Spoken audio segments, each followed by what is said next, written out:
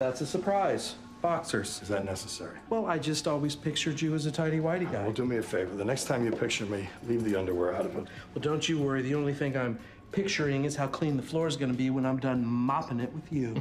Is that the best you can do? Because it's going to take a little more than some lame trash talk to get me out of my. God, what the hell was that? Our butts pressed against each other. They didn't press, it was glancing. Stop talking about it. Oh, come on. All the time you've spent in the locker room, this can't be your first moon landing. You got a name for it? It's very common. You got off easy. At least it didn't happen after a shower. Enough. You should have seen the look on your face when that drop shot just kissed the wall. Ah, okay, splashdown. Got me again. Yep.